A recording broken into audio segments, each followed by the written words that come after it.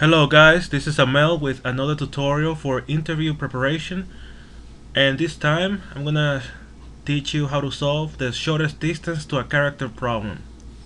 This is a problem that was given to me at an interview and uh, it's a very interesting one so I think it's gonna be very useful to you uh, to practice this problem. So the name is shortest distance to a character. Given a string s and the character c return an array of integers representing the shortest distance from the character C in the string. So they give you an array, they give you a string S, for example, and they give you a character C. So in this case the string is this one, and the character that you're looking for is E.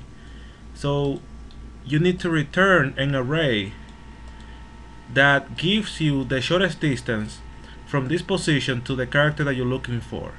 For example, from this position, the shortest distance to the character E in in the string is is 3. That's the distance, the shortest distance.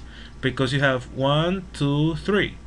So this is the distance to E. Now from this position, the distance is 2 because you start 1 and 2. From this position, the distance is 1 because you have this only here and from this position the shortest distance is zero. So the best way to approach this problem is by going from left to right and calculating the distance of the character from left to right and saving that in a, in an array. And then you have to do another pass and go from right to left and every time you go from right to left you calculate which one is minimum which one is less coming from the left or coming from the right. And that's gonna be the final output. So without further ado I'm gonna show you the code and that's that's gonna make it clear and you will see that it's not so difficult. So first I'm gonna do some null validation. If the reference is null or the string is empty then I'm gonna return null because there's no possible solution. I'm gonna store the length of the string in a variable n. Integer n gets value of s dot length. And I'm gonna make my array that, that is gonna be the output of this function of this method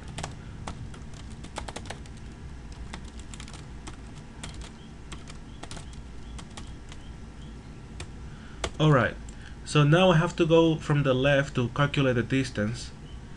And in order to do that, I need to have a previous variable. And the previous variable, I'm going to initialize to integer that main value divided by 2. Why divided by 2? Because I'm going to go from left to right and I'm going to subtract the current index i I'm gonna subtract the current index i uh, from uh, I'm gonna say i minus prev every iteration. And if I don't do integer the mean value divided by 2 if I just do the whole integer mean value I'm gonna have some error. I'm gonna get some overflow. Um, so that's why if I say 0 minus integer mean value I'm gonna get some overflow. So I want to avoid that. So that's why I'm gonna divide by 2 so now I can go from left to right. 0, i is less than the length of the array, plus plus i. Every iteration I'm going to check if the character at the current position equals the character I'm looking for. Then I'm to say prev gets the value of i. This was the last position when I saw the character and every iteration I'm gonna update output i to be i minus prev. And that's gonna give me the the distance uh, from left to right of the character. So when I see the character now minus when I saw it last time. Alright.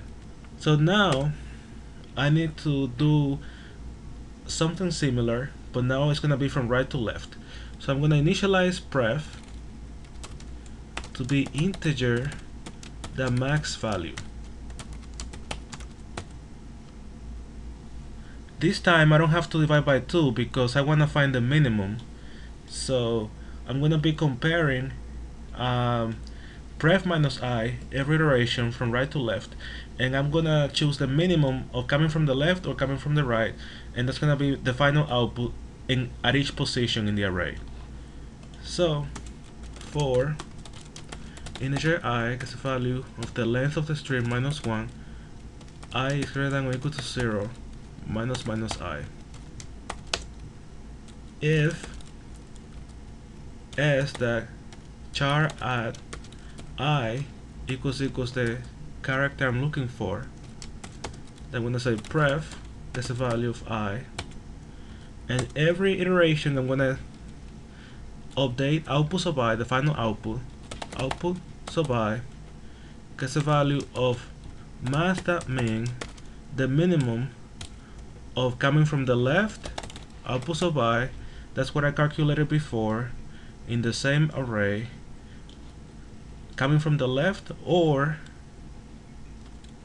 coming from the right. And coming from the right will be prev minus i and finally I'm gonna return the output array. So I'm gonna run the code to test it. As you can see I get the right output. And I'm gonna submit the code.